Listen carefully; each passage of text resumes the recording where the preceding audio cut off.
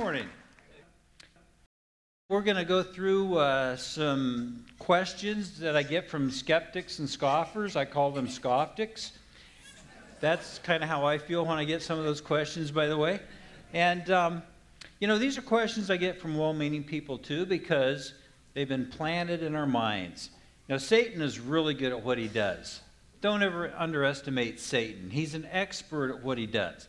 And what he wants to do is to plant seeds of doubt with people. In fact, the first question posed in the Bible is in Genesis 3, verse 1, where Satan, Lucifer, is in the garden and he asks the first question Hath God said? and starts planting seeds of doubt. He does that through questions. Well, the Bible tells us to be ready always to give an answer to every man with meekness and with fear. So let's look at some common questions and some answers to those skeptical uh, questions that put seeds of doubt in people's mind. You know, one of the ones you may have heard this before. This actually started uh, seriously back in the 1800s. But isn't the Bible just a bunch of legends and myths? You know, we're going to look at some historical verification here. See, the Bible is historically set in a location and in a period of time. And that opens it up to some scientific scrutiny, so it should hold up to what science and archaeology can find.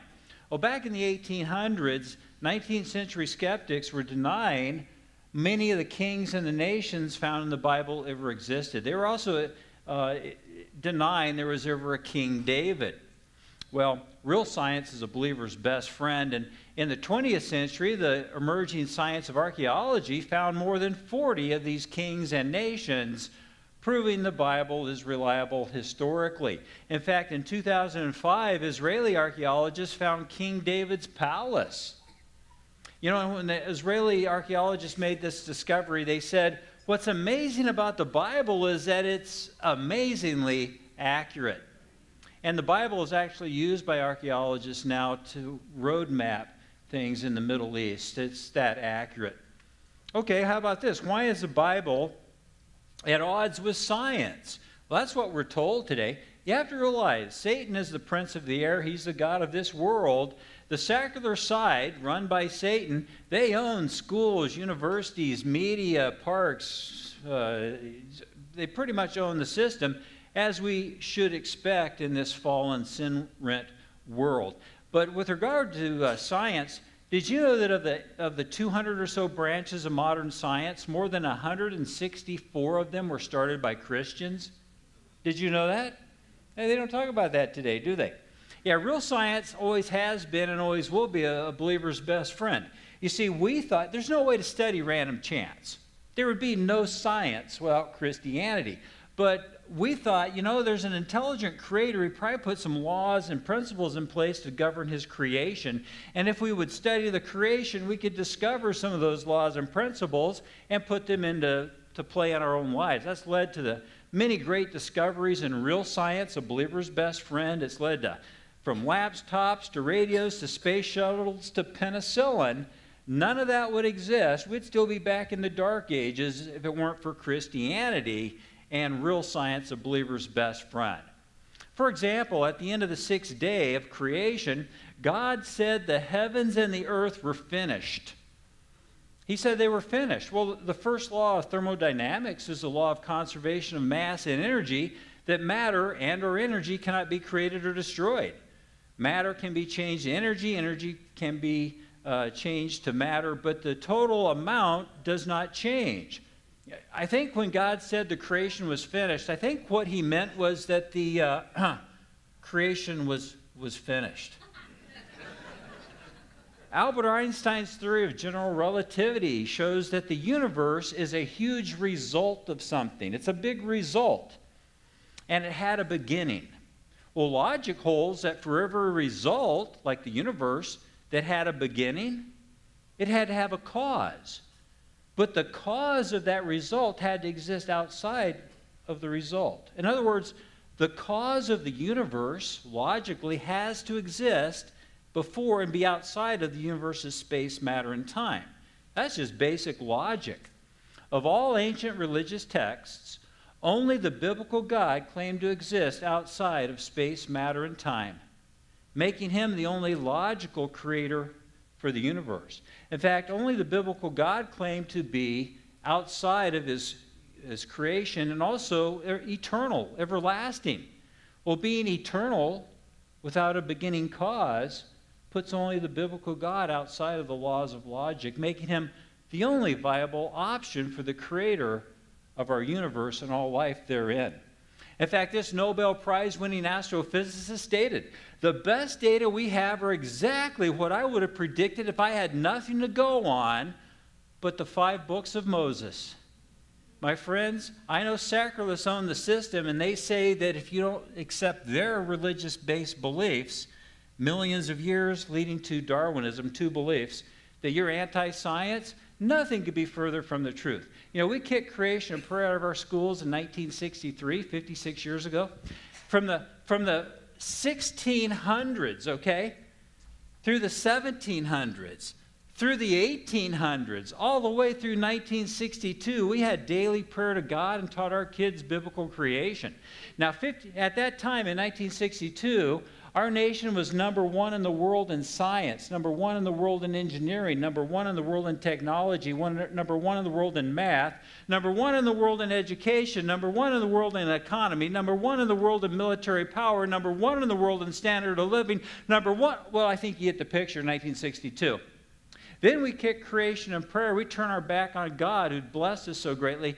And for 56 years, we've been teaching our kids they evolved without God. How are we doing? Or how many trillions in debt? We've lost all of our manufacturing and all the great jobs with that. Our schools now rank in the bottom 17% in the world.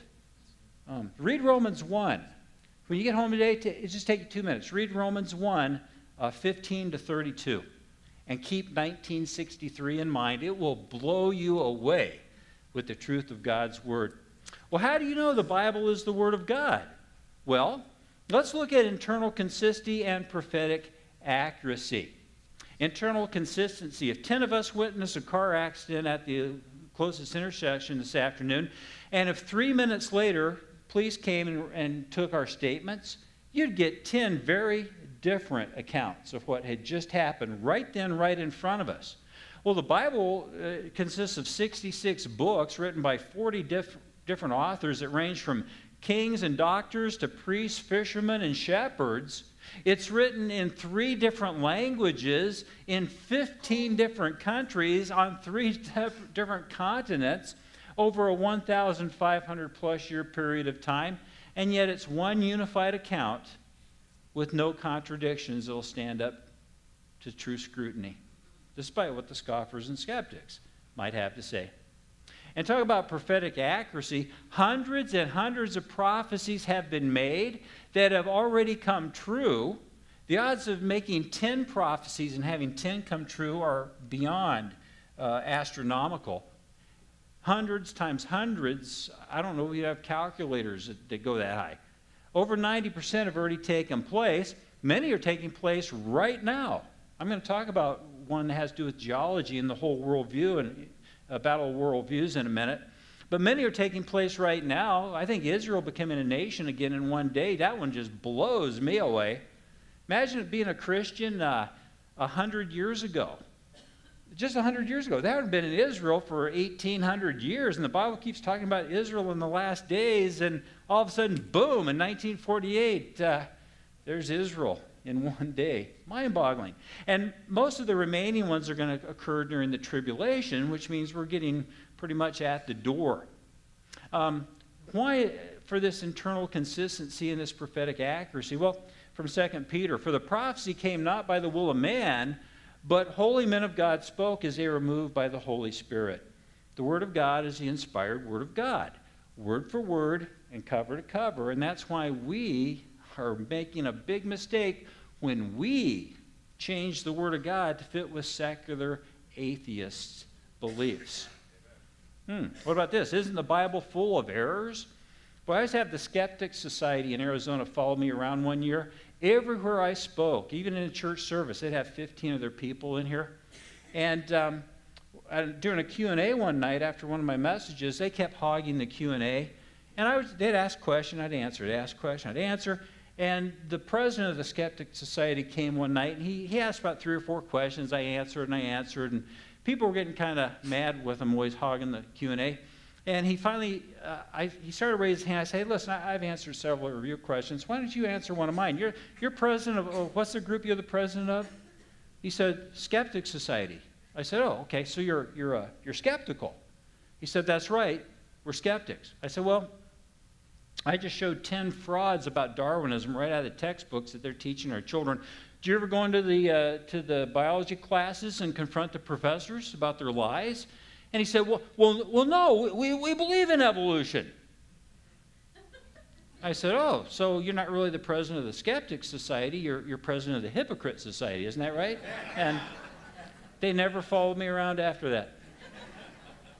Oh, and by the way, well, I don't have time to get into the evolution thing right now, but real science is on our side. That's all I've got time to say right now. But, uh, you know, they'll point to, saying there's errors in the Bible, Second Chronicles where we're told that Solomon had 4,000 uh, stalls for horses and chariots in his army.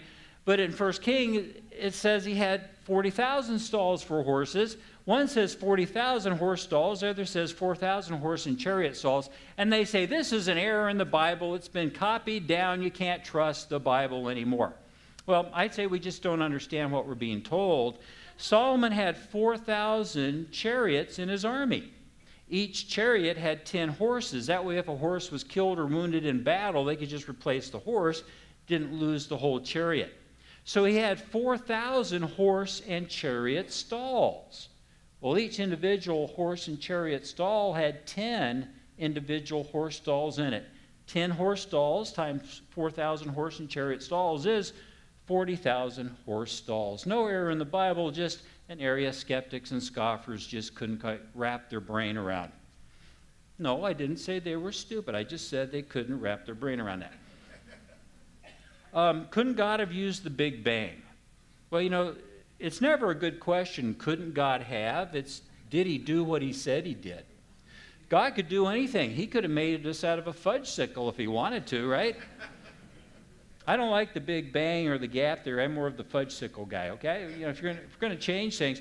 But did you know we're on our fourth big bang? Christians come up to me all the time and they're trying to figure out how do we fit the secular atheist beliefs in the Bible? And good, couldn't God have used the big bang? Well, which one? We're on our fourth one. Did you know that? Yeah, they don't like to talk about that.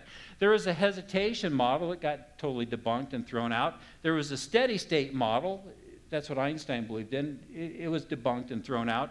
There was the oscillating model. Now we're on the expanding model. And it's got so many problems. The, the cover story of Scientific American back in 2011 was how we need to get rid of the current one. It's got so many problems they could never fix it. But they won't get rid of it because the only other viable option is in the beginning, God created. In fact, a letter signed by dozens of scientists appeared in New Scientist magazine called Bucking the Big Bang. It included statements such as the Big Bang Theory can boast no predictions that have been validated by observation, by real science. And the theory relies on a growing number of never seen entities like inflation, dark matter, and dark energy that cannot, and the theory can't survive without these fudge factors. It said in no other branch of science would this be accepted. But see, it's not science. It's a faith based belief on how we came about without God. Real science would have kicked it out long ago. The biggest scientific announcement in 2016 was the discovery of inflation, supporting the fourth Big Bang Theory. It was all over the news for six months, misled millions and millions, probably billions of people. And then in 2017, it quietly disappeared and the scientists that discovered it said, actually, we never did discover any inflation. We just wanted it so bad. Total fraud. Misled billions. People say, you don't believe in the Big Bang? Well, actually, I do believe in the Big Bang. The Bible says the day of the Lord will come as a thief in the night, in which the heavens will pass away with a great noise. That, my friends, is a Big Bang. It hasn't happened yet, but it's coming and you'd better, better be ready for it. Well, how could God have gotten light here in six days? I hear that all the time. This is actually foretold in 2 Peter 3. This would be a question. But, um, you know, the way I usually answer that, well, I, I don't know how God could have gotten light here in six days because he got it here on the first day. which usually doesn't help the situation any, but light travels about 186,282 miles per second through our atmosphere. Did you know that scientists in labs have slowed light to 100 miles per hour? They slowed it to 30 miles per hour. They brought light to a dead stop, captured it, and re released it. Other scientists working in conjunction with Princeton were able to speed light impulses to 300 times the speed of light. My answer to the light issue is if mankind can play with the speed of light, I don't think the creator of light and the creator of the universe has any trouble getting light anywhere he wants exactly when he wants it and tells us that he did. It's our mistake when we limit God to what his creation can do. He's the creator. You ever heard this? Wasn't it just a local flood? This is trying to mix the foundation of secular atheistic beliefs into the Bible. Millions of years of time. That's their whole foundation. It's everything to them.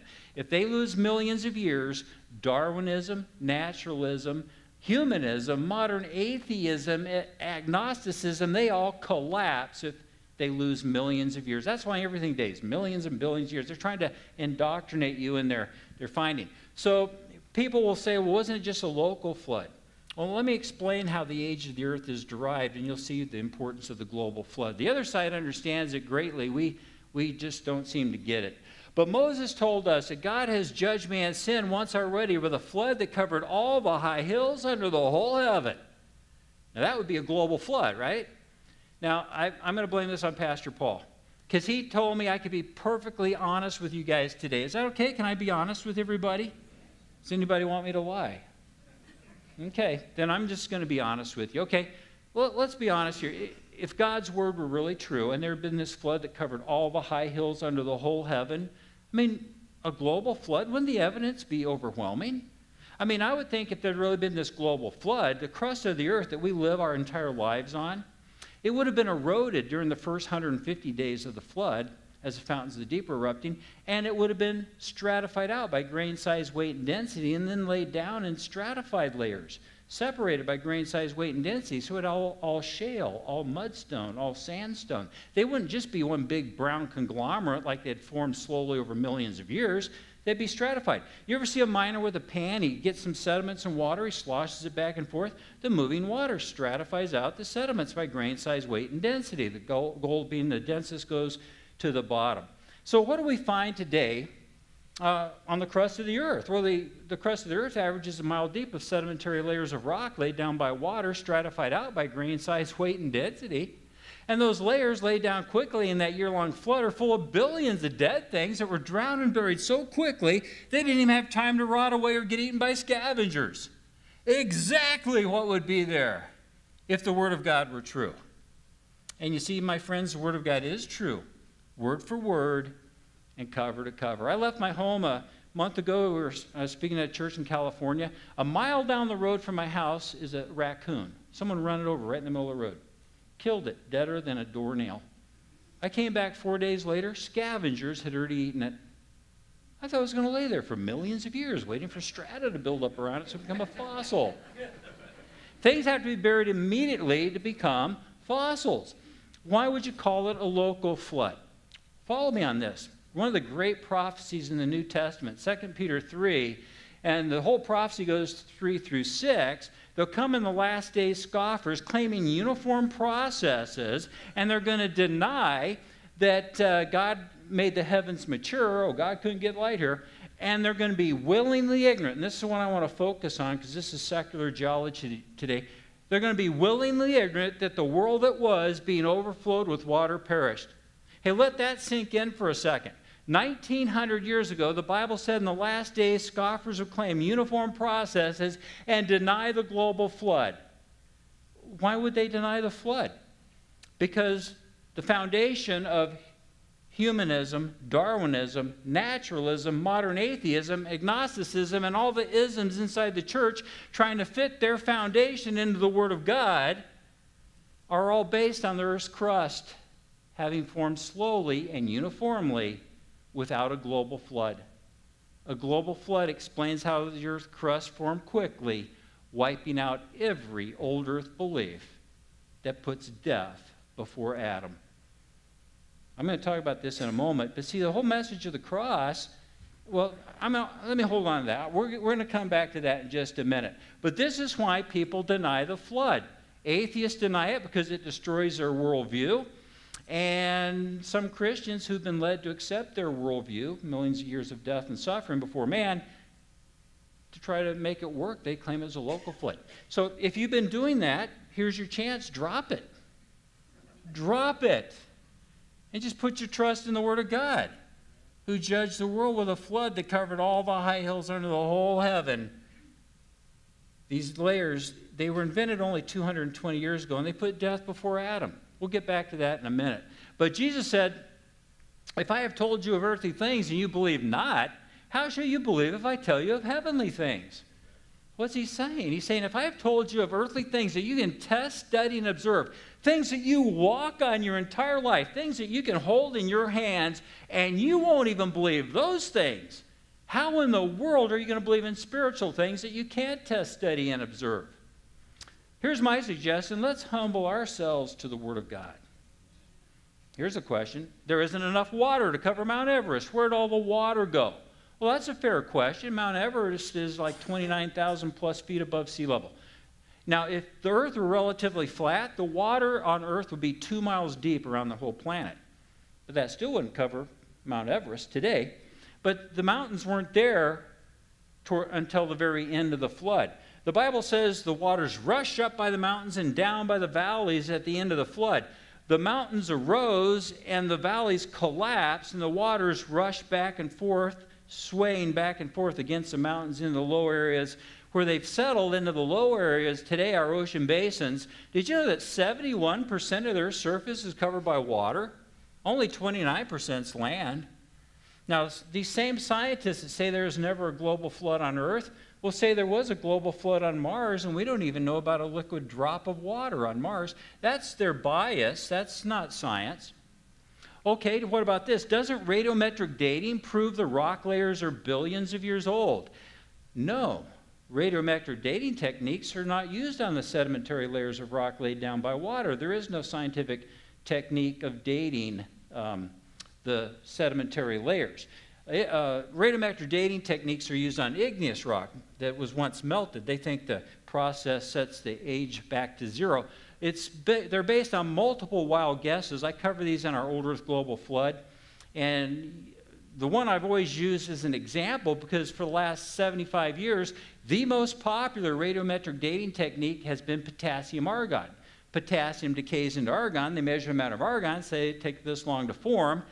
They overlooked the fact what if it was contaminated with argon? What if argon was in the rock when it first formed? It's going to date millions and billions of years older than it is. But they've really messed up my book and everything because I use potassium argon since that's the most popular method. In the last six months, they've come out and finally admitted it doesn't work. They're not even using it anymore, and it's been their number one dating method for the last 80 years. So, no, the, so they don't radiometric date the rock layers. The rock layers are dated by the fossils found in them. They date the rock layers by the fossils in them. Well, doesn't carbon dating show that fossils are millions of years old? No, carbon dating is used on organic remains, plant and animal remains. But in a, a fossil, the organic material has been replaced by silica and other minerals. It's basically a rock. There is no scientific technique to date fossils. They date the fossils by the rock layer they're in.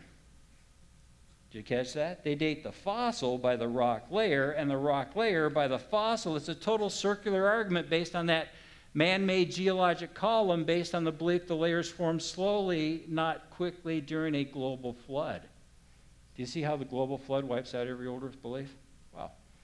See, if I go on a camp, college campus and talk about Darwinism, they get mad. Woo, they get mad, but there's nothing they can do because all they have to do is give one example of Darwinian evolution have, or having taken place. They can't do it, it never happened. All they can do is get mad. But if I talk about uh, the age of the Earth, I have to have bodyguards. They understand if they lose millions of years, they lose it all. So they date the rock by the fossil and the fossil by the rock. Well, why don't we find human fossils in older, lower strata layers? Well, keep in mind the purpose of the flood. God said, I will destroy man. When God said, I will destroy man, I think what God meant was that he would uh, uh, destroy man. Why don't we find human fossils in lower layers? Well, first of all, mammal fossils are extremely rare. They make up less than one quarter of 1% of the fossil record. 99% of any mammal fossils consist of just one bone. Human fossils, extremely, extremely rare. But keep in mind, they date the rock by the fossil and the fossil by the rock. Back in 1972, they found what they announced was a modern human skull, but it was under a rock layer, under a rock layer that had already been dated 250 million years old. Even Darwinists teach humans only came along in the last 2 million or less years, so the human skull was below the 250 million year layer. So, did they admit these layers had to be laid down in a flood? The secular atheist belief system's totally destroyed. Did they admit that? Oh, of course not. They just redated the rock from 250 million to 1.8 million because they date the rock by the fossil and the fossil by the rock. You'll never get them to admit things are out of order, although they're out of order from top to bottom. Um, or don't the ice ages and continental drift prove the earth is billions of years old? Well, let's talk about these. At the start of the flood, the fountains of the deep erupted. Most people think the water came from above. A little did. Most of it came from below when the fountains of the deep erupted. These were scalding hot thermal waters, and it heated the oceans. It's estimated the flood waters averaged 120 degrees Fahrenheit. You had massive evaporation and cloud cover that was raining over the equators and pounding snow onto the poles to form the ice caps. And the one and only ice age was upon the earth. Now, after the flood, the, the ice age, it lasted somewhere around 800 years. The oceans slowly started cooling, and the evaporation became less and less, and finally the ice age ended. And um, probably roughly 100 years or 800 years after the flood. But it was a very warm tropical climate. It wasn't cold and animals spread out, and that's the reason we find buried mammoths in snow because they, they spread out and they were feeding along the edges of the ice caps where there were a lot of springs, and a windstorm or snowstorm buried them suddenly. That's the reason we find intact uh, woolly mammoths today. They would be post flood events. You know, the secular teaching is the ice ages occurred during a cooling cycle of the planet, right? Wouldn't a cooling cycle cool down the oceans? Wouldn't that end evaporation? How'd the ice get to the poles? It takes warm oceans to form clouds to bring the water to the poles. Now, this is a map of the worldwide uh, fault lines. The Earth is crisscrossed with about 50,000 miles of these fault lines. These are mostly scars left over from where, from where the fountains of the deep erupted. Like uh, the mid Atlantic ridge goes right down the middle of the ocean, and the continent split apart along where these fissures had occurred in what we call continental drift today. It happened quickly toward the end of the flood not slowly and uniformly at today's rate. We see them uh, rocking back and forth a half inch a year. We don't even know if they're moving back and, or just going back and forth. But based on uniformity, foretold in 2 Peter 3, they say, well, they're, they're this many thousand miles apart, a half inch a year. It took hundreds of millions of years. You ever see, see a car rear end another car? I mean, in a billionth of a second, boom, the hood's crumpled. Well, let's say you'd never seen that. You believed in uniformity. You can't could come along, measure the, the amount of that the hood is crumpling now, which is nothing, and you could come to the conclusion it took hundreds of millions of years to crumple that hood. You'd be absolutely wrong. Things happen quickly, not slowly. Well, didn't Adam's sin just bring in spiritual death, not physical death? These are, again, people trying to fit millions of years of time into God's Word. Uh, spiritual death was immediate, physical death began immediately. In fact, like a rose cut from a vine, it takes time for the process to be completed. Well, if physical death were instant, there would be no way to be redeemed with our loving Creator. C.S. Lewis called pain God's megaphone to the world to call people back to Him. God's being gracious. He wants no one to perish, and He's giving us time to accept our redemption through our Lord and Savior Jesus Christ. Again, if physical death had been immediate, that would have been the end of mankind. It shows God's grace and mercy. Well, haven't scientists proven birds evolved from dinosaurs over millions of years? You know, this is now one of their, it seems like every 10 years they pick out something and then it disappears later. But uh, so they're trying to teach that dinosaurs evolved into uh, birds. Now, think about this from, from the, let's give them, they can't get life started. The law of biogenesis, real science, life cannot start from non life. But they, they have no way to get life started. But let's give them billions of bacteria cells, or that's the end of the discussion, right?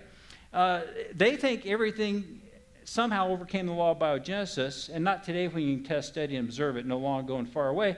But then everything evolved. I mean, from eagles to fish to, to all of us from this bacteria cell. Well, this would have left trillions, not millions, not billions, trillions of missing links in the fossil record. They can't show one that'll hold up to scientific scrutiny. And yet they want to convince you that without finding any of the trillions that should be out there, that they do find the one between uh, reptiles and birds. What are the odds of that without finding trillions of others first? And just think about it logically. All their claimed feathered dinosaurs have turned out to have hair, not feathers, or to be extinct flightless birds like, think emu. They said Compsognathus was the missing link. It was a little dinosaur about the size of a chicken, and they found, they said that was the feathered link, but a year and a half ago they found a well preserved Compsognathus that had 100% scales, zero feathers. And also, real science, a believer's best friend, reptiles don't have genetic information to form feathers, which are very complex structures. And real science, a believer's best friend, knows of no way for nature to add that kind of information to a gene pool. And also, birds are found in layers below dinosaurs, which means they couldn't have evolved from the dinosaurs in their time frame, anyways. I bet you guys have all heard this. Many of you probably even said it, but aren't a day and a thousand years the same thing to God? Anyone hear someone say that or even think it? Let's make sure we straighten this out today so you can help other people. This is the only verse people trying to fit millions of years of death and suffering into God's word bring up to me. Well, a day and a thousand years are the same thing to God. That's not what that says. It says a day and a thousand years, and this comes from 2 Peter 3. Uh, uh, one day is with the Lord as a thousand years, and a thousand years as a day. They're not saying they're the same thing. A day to God is a day, and a thousand years to God is a thousand years. And God knows how to communicate, by the way. So I was talking about 2 Peter 3, the great prophecy, 3 through 6, about scoffers who claim uniform processes, deny God could get light here, and deny the global flood. That's what we see today. And those are verses 3, 3 through 6. So in verses 7 and 8, the answer is, well, God wants nobody to perish. So he's being, he's being patient with us. And whether he sends Jesus in a day, or he sends Jesus in a thousand years, comparing them as polar opposites. Not saying they're the same thing. Doesn't matter to God. He will send Jesus in his perfect timing. They're saying, Where's the promise of Jesus' return? And the answer is, God will send him when he's good and ready, whether it's a day or a thousand years, comparing them as polar. Do you see that? So please help other Christians because this is the most common thing I, I hear. Well, a thousand years and a day are the same thing to God. They're not. They're, a day is a day, and a thousand years is a thousand years. Because keep back to logic. God is outside of space, matter, and time.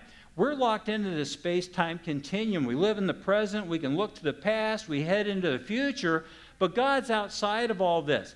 He can see the past, He can see the present, He can see the future all at the same time. God's outside looking down on this whole thing, and that's the reason He can make prophecies. He's already seeing it. He can look at it again today, write it down, and if he wants to, he could look at it again tomorrow. He can see the future. That's the reason the Bible makes all these hundreds and hundreds of prophecies 100% accurately. So, God isn't saying a day and a thousand years are the same thing. He's saying whether I send Jesus in a day or whether I send him in a thousand years, you don't need to worry about. I'm going to send him in my perfect timing. It doesn't matter to God if it's a day or a thousand years. Hmm, do you think intelligent life was brought here by aliens? The more I watch the news, the more I question whether or not there's intelligent life here. Just thinking. So some people say, well, Russ, Andromeda is the nearest major galaxy to the Milky Way. Maybe aliens came from there. It's two and a half million light years from us, and that's the closest major galaxy. Well, some people say, well, alien spaceships are really fast. Okay, well, let's say they could go half the speed of light. It would still take them five million years to get here. Well, maybe aliens can hibernate. Well, you know, we can go on and on with the maybes, okay?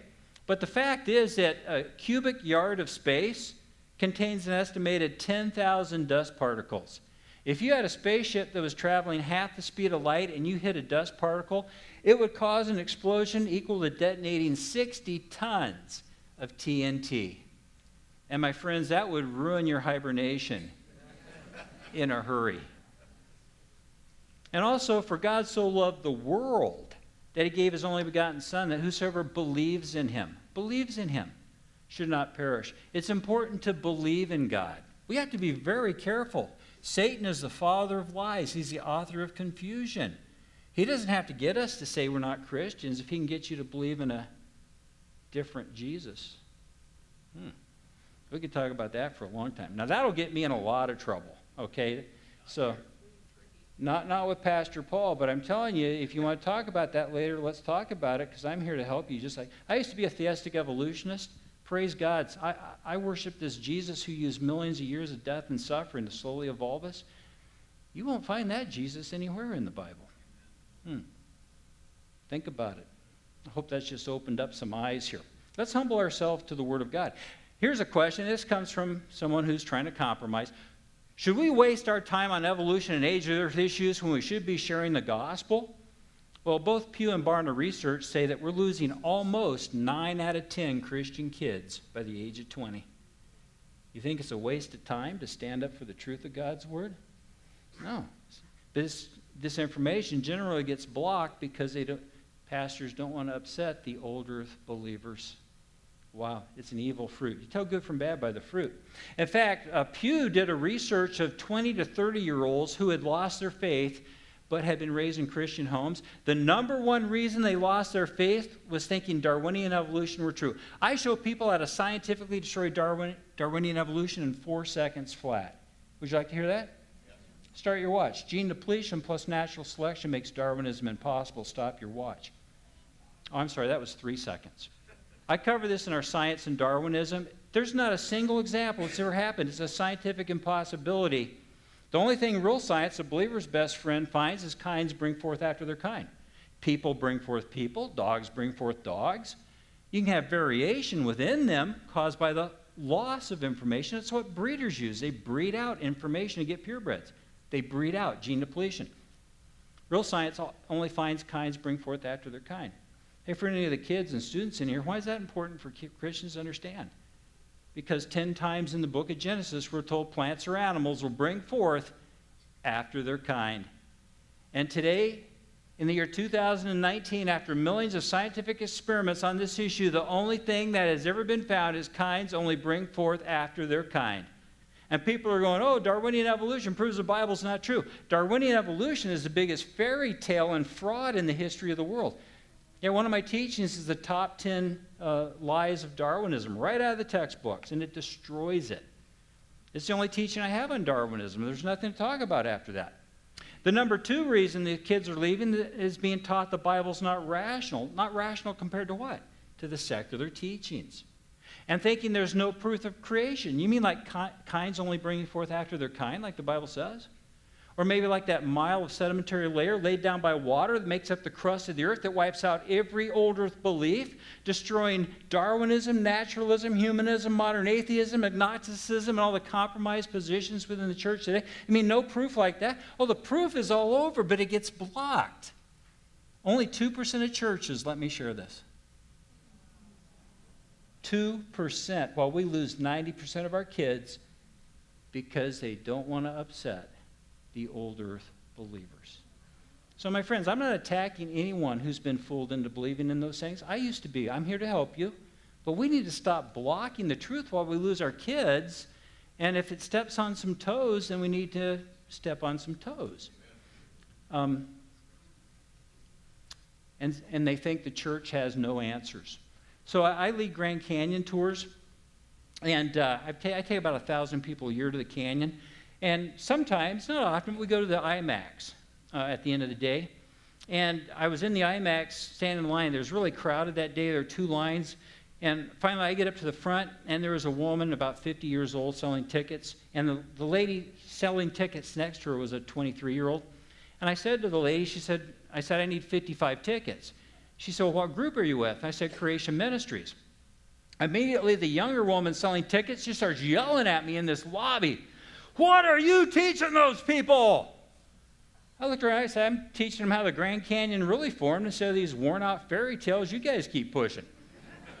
well, she stuttered backwards, regrouped, and said something totally revealing. She said, well, well, well, I was raised in a Christian home and I went off to college and learned everything the Bible said's a lie.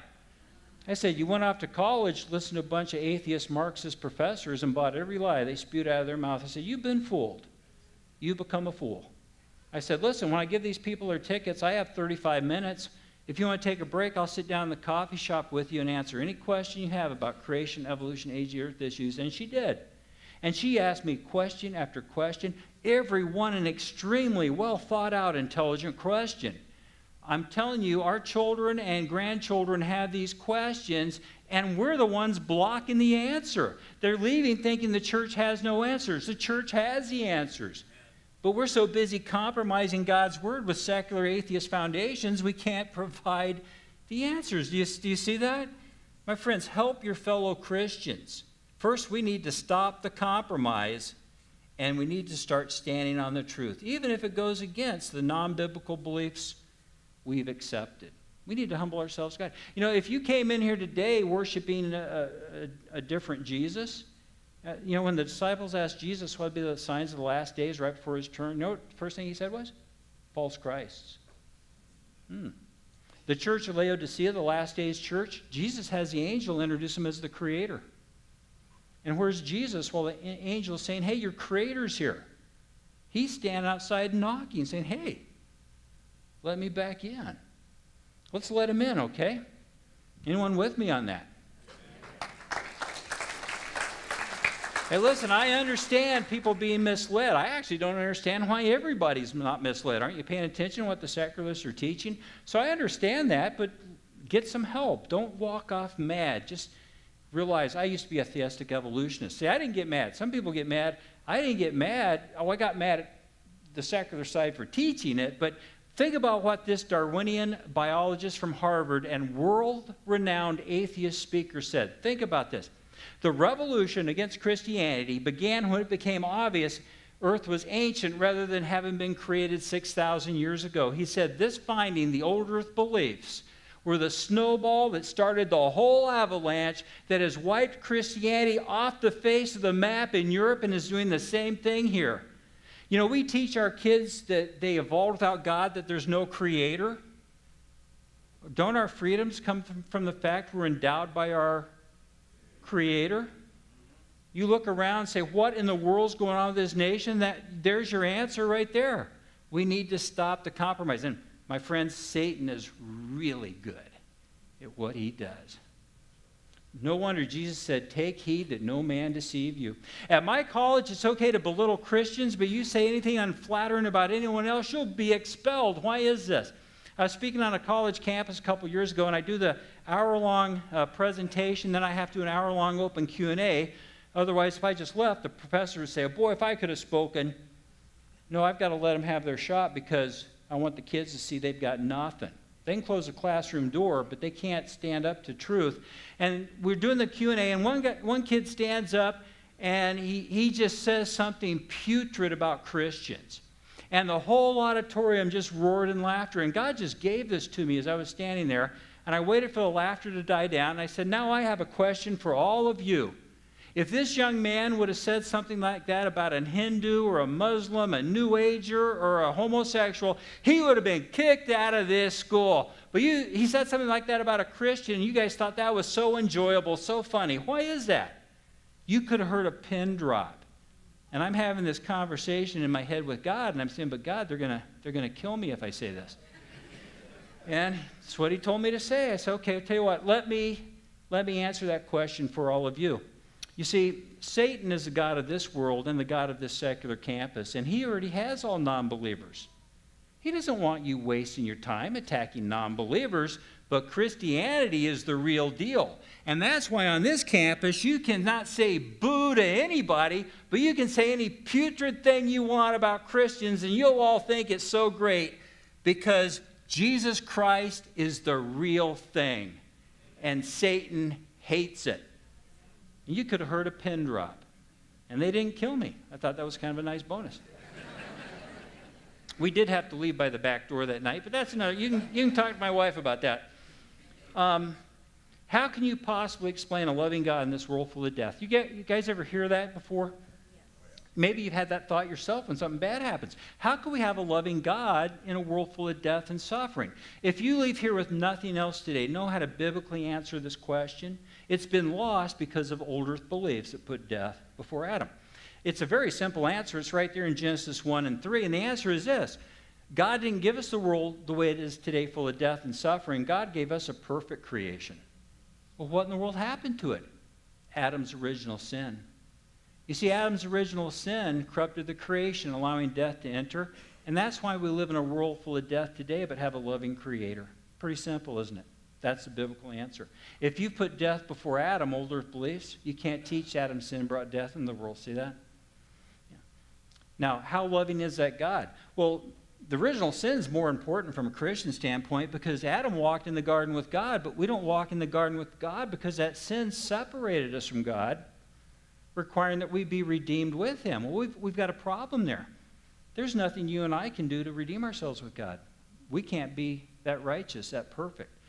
God is so loving, though. Despite our sin that corrupted His creation, He sent His only begotten Son to suffer and die on a cross so that all of us sinners by accepting his sacrifice and believing in him. All he asks is we believe in him, can be redeemed with him forever. That's a loving God. Next time somebody asks you, answer and lead them right to the gospel message. And the last enemy that shall be destroyed when Jesus returns is death. In fact, we're told I saw a new heaven and a new earth where there'll be no more death, no more sorrow, no more pain, where the wolf will dwell with the lamb and the lion will eat straw like the ox. We're going back to that perfect world. My friends, we need to earnestly contend for the faith. We're given our marching orders. Some people say, I just never have felt called. Read the Bible. We're all told. Pray continually. Spread the word and contend for the faith. We've all got a specific calling. The purpose of our ministry is to teach about creation, evolution, age of the earth issues, to challenge people about where they've been tweaked off that narrow pathway onto the broad path, and to provide a reason for the hope that's in the heart of all true believers and all true seekers. You know, we do this for our various teachings. You ever heard, heard that you're 98% the same in your biochemistry as a chimpanzee? Anyone ever hear that? You know, real science, a believer's best friend, has a 30% difference not a 2%, a 30% difference. Hey, did you know your biochemistry is 96% the same as that from a mouse? It's 50% the same as that from a banana. Anyone evolved from a banana? Just two people, Pastor. Last time I was on a college campus, 500 students raised their hand because they've been taught we all evolved from common ancestors. That would mean we're related to bananas. I checked my family tree, there wasn't a banana in the whole bunch. Oh, didn't find that very appealing, hey? oh, we're just, we're going to split. I, I never heard that. We're going to split. Oh, that's good. But my friends, you can check out our DVDs out here. Uh, I don't copyright my DVDs. I tell you, hey, if you get my DVDs, DVDs, make a million copies. A woman in Washington got our DVD set about 10 years ago, went out and bought a tower copier. She's given out over 500 complete sets.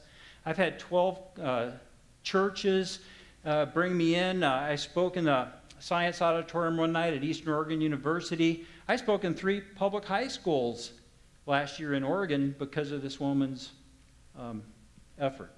We can make a difference, my friends. My book, The Costs, covers top 10 Darwinian beliefs, top 10 old earth beliefs, top 10 reasons you can believe in, uh, in creation and the flood.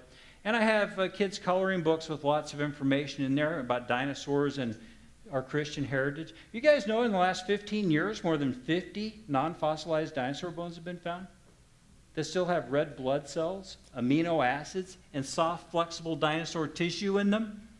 Why isn't that all over the front page news? Because dinosaurs are one of the pillars of millions of years place.